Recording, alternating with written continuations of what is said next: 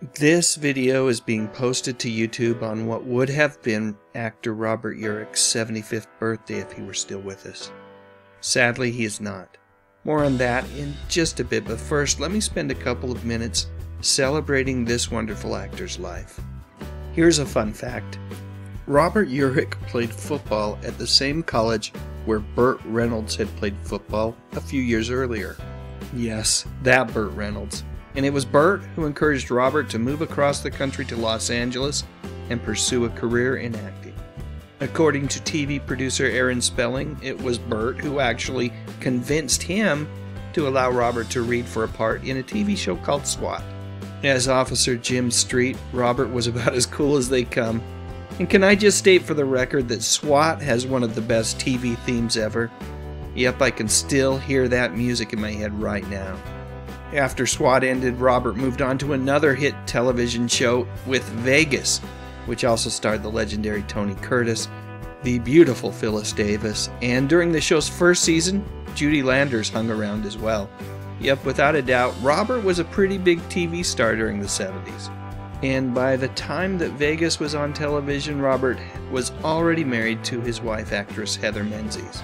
They had tied the knot in 1975. This marriage was not Robert's first. He had been married previously, but Heather turned out to be the love of his life, his partner to the very end. During the 80s, Robert went on to star in another pretty darn big TV series titled Spenser for Hire. Like I said, the hits just seemed to be non-stop for this guy. But for Heather, on the other hand, things started to slow down a bit so that she could spend more time at home. That's because she and Robert made the decision to adopt three kids two girls and a boy. Anyone who has ever been a parent knows that sacrifices are required, and it would seem, at least to me from the outside looking in, that Heather made the choice to focus on her family. That choice became even more important when Robert announced in 1996 that he had been diagnosed with synovial sarcoma, a rare form of cancer that attacks soft tissue. Over the course of the next half decade or so, there would be many ups and downs for the Urich family. At one point, they believed that they had found a drug that was going to work wonders, but sadly, it did not. And in 2002, Robert passed away from the disease. At that time, Heather established the Robert Urich Foundation, and according to Wikipedia, she spent a lot of her time during her later years devoted to the organization that raises money for cancer research and support for cancer patients. Interestingly, two of Robert and Heather's kids ended up working in the field of medicine. What a guy.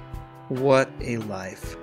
Alright, folks, now it's your turn. Please share your memories in the comments section, and while you're at it, I'd love a thumbs up if you enjoyed this video, and I would be honored if you would consider subscribing to my channel. I talk about music, movies, and mostly television from the 50s, 60s, 70s, and 80s. You know, the good stuff. But most importantly, and as always, thank you so much for watching.